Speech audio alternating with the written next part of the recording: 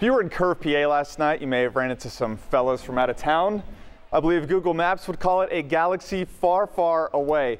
Oh, hello again. Still working on my short game. Here's a tip from a bad golfer for bad golfers. Yeah, you see on the climbing walls where I really feel feel at home. You know, on the mountains, kind of like Tom Cruise in Mission Impossible. Wait, did you did you zoom out? Now, if Holly can take the time to write this essay, you can certainly take the time to vote. It's as easy as C-A-M-B-R-I-A.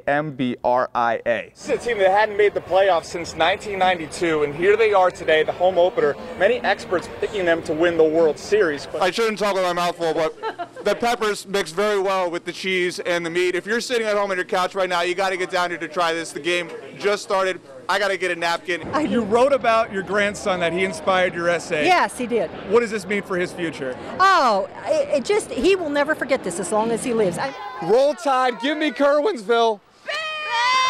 Uh, I'm, I'm just making friends all over the, the state of Pennsylvania right now.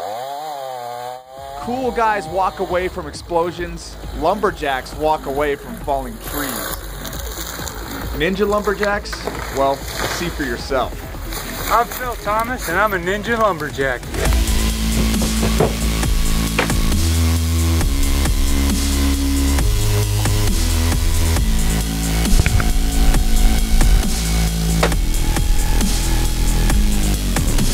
Ninja Lumberjack! You said it. Johnstown native Phil Thomas is competing for the second straight year on NBC's American Ninja Warrior. Now, his identity as a lumberjack comes from his job building habitats for trout. So all day at work, I'm running a chainsaw, cutting logs, in some cases dropping trees to use the logs. So I do that all day long at work, and then I come home and I work out on top of that. So I feel like I have a, a great advantage when it comes to muscle fatigue and stuff like that in my grip training because I do it all day long and then come home and work out. That job got him on season one, but for season two, he needed help. Enter Ken Zala, a friend with his own home-built obstacle course. I've watched the show since it was started in Japan. So came over here and always thought that looked really cool. I'd like to do that. Uh, I like to build things. I'm an engineer. So I decided to just start building it and uh, it kind of just took off from there. I built one, one apparatus and then just kept going. Now conquering obstacles in the woods is one thing, but under the TV lights is a whole other. Any one of these guys on the show can do every one of the obstacles that are there. And it, and it basically boils down to can you mentally get through all the obstacles. Now, if you're watching at home, you probably think maybe I can do this, or you know you can't do it. I was a pretty good athlete in high school. I know I can do this, so we're gonna go try it out. Let's go find out. All right, let's do it. Ooh, I warm up. Yeah, I mean, I opened a salsa jar for my wife the other day. You know, she ended up finishing it off, but I loosened it. We'll put him to the test. We'll start out easy and uh, see how he does with some of the harder obstacles.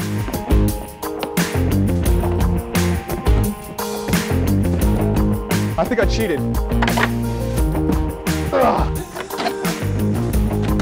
Now go back. Yeah, you see on the climbing walls where I really feel feel at home. You know, on the mountains, kind of like Tom Cruise in Mission Impossible.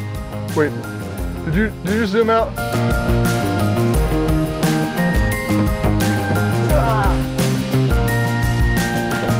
Ah, I think I had it. no one sees this, okay, Bill? Okay. Woo! Good job, Pat. I did it! Yeah. Yeah.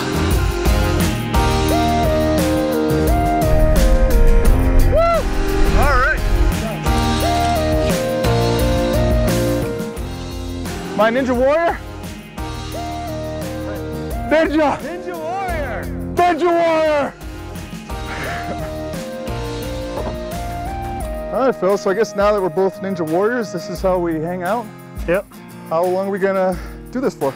Uh, about another six hours. Six hours. Okay. Good evening. It was one of the biggest games of the year and also one of the biggest disappointments. Somerset just three points against Bishop Guilfoyle last week. Tonight they reset their sights on a district title, taking on Punxsutawney in our game of the week. No touchdowns last week for Somerset. That changed quickly tonight. First quarter, it's Jake Heupel, one of the best running backs you'll see, gone. 7-0 Eagles. The versatility of the Eagle offense on display tonight. Raven Beeman this time take the jet sweep and he outruns, what is that, nine chucks? Those guys bringing Winter with them to Somerset. I'm still shivering. Late in the first, Chucks break through. Dakota Thomas finds Braxton Jevidani. We got a game. It's 14-6 here. But then the Eagles just steamrolled. Dylan Barnes is going to find Beeman on the screen, and similar to earlier, he outruns all 11 Chucks this time. Somerset moving on with a 50 12 win. Good evening. Steeler win streaks have been rare this season. A three-game stretch mid-year, the only one. Pittsburgh with a chance to make it two in a row today, and Atlanta control of their playoff destiny in the balance. Julio Jones out of the lineup after torching Green Bay. It's a weakness the Steelers would pounce on early. First play of the second quarter. It's Matt Ryan looking over the middle and William Gay looking right back. Steelers negative in given takeaways this season, but a huge positive right there. Gay returns it all the way 13 0 Steelers. Late second quarter now, Ryan responds. No Julio Jones, no problem. It's Devin Hester scoring the passing game for once, 13 7.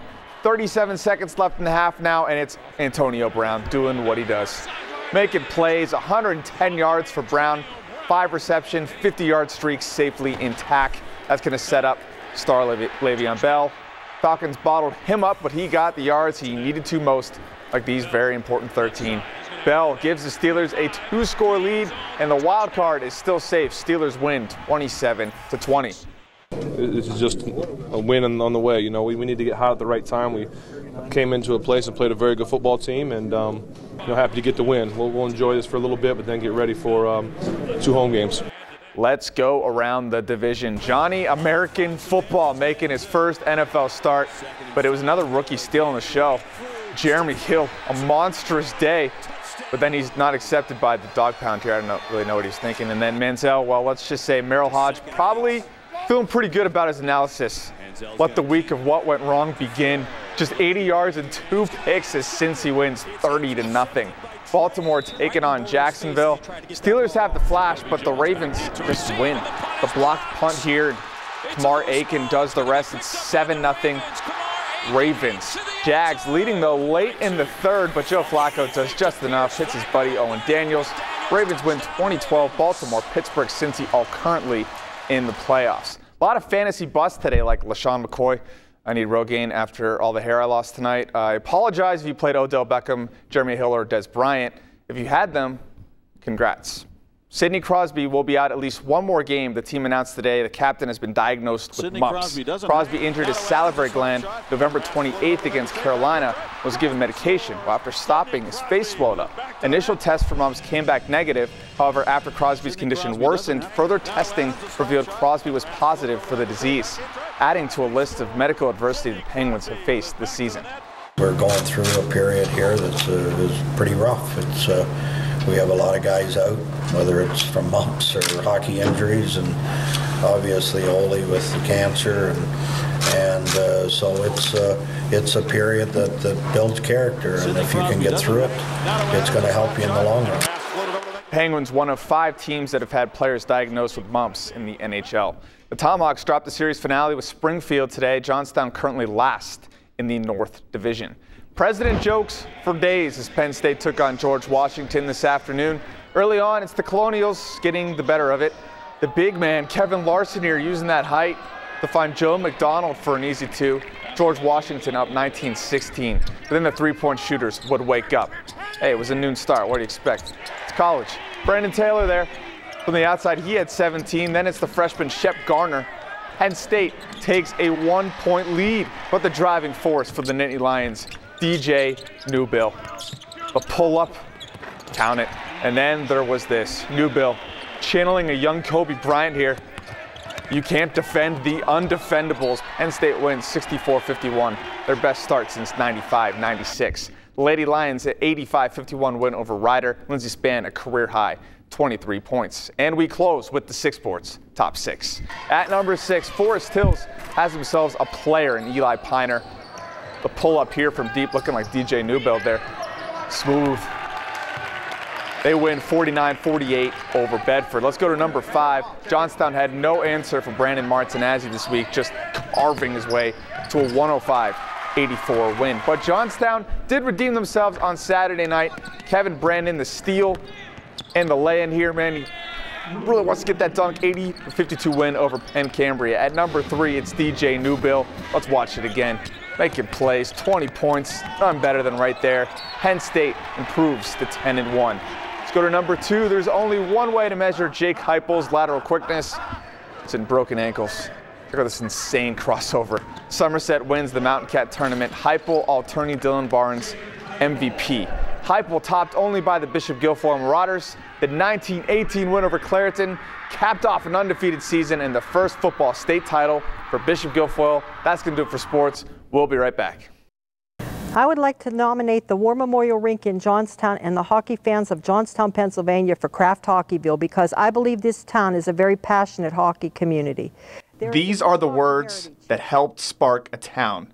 Johnstown is a Kraft Hockeyville finalist, and it all started with Holly Lees. When it came to the Kraft Hockeyville, I almost didn't write the essay. Um, I hesitated. I thought, oh, I'm one person. What difference does it make? But because I am such a passionate hockey fan, and I have I had billet kids with me this season from the Tomahawks, and because of my grandson who's playing hockey, I thought, you know what? I really I really owe it to them to sit down and at least write an essay and say, okay, I, I entered the, the, the essay contest. So she wrote, and out came the passion. A passion that a panel of judges deemed strong enough to make Johnstown one of 10 This area has a Hockeyville finalists. It, it would so much improve the, the esteem of the whole community to know that we all work together to make improvements to this arena and we, we, it's our rink. I now have a five-year-old grandson learning to play hockey and hope that he will appreciate the great hockey heritage in this community, which is why I am nominating Johnstown, Pennsylvania as the most passionate hockey community. Now, if Holly can take the time to write this essay, you can certainly take the time to vote. It's as easy as C A M B R I A. Hey guys. What's up, Maria? Hey, George. Oh, yeah. Pat, what is going on in sports today? I don't know. I'm about to find out. Canceled? Canceled? Jameis Winston stole crab legs? So what did the glove say to the ball? Catch you later. Uh, hey, hey, guys. Uh, yeah, everything's canceled. What do you mean everything's canceled? Was- I don't care if you have to drive all the way up to Cameron County to get something on. You better be in the 11 o'clock show. Get out. With no story and no leads, did what any good reporter would do head out into the world. Well, the field may be wet, but spirits are high. Who will stop the rain? There's, there's nobody here. Nobody here at all. Well, one team today must have done a rain dance. Discouraged and beaten down from the weather, in a moment of clarity, it came to me. I knew the source of my issues. Why do you hate sports so much? What are you talking about? You know exactly what I'm talking about, Tony. Pat, I don't control the weather. Uh, you know, I I know you control the weather, and I know you can make it stop. Hey, be careful, those floors are slippery. Mister, Mister, wake up! What? Where am I? You're in hockey heaven. Does it ever rain here? No, it's just hockey all the time. Hockey! Wake up. Hockey! Pat, wake up. You're dreaming. What? You're dreaming. Hockey. No. We cover hockey.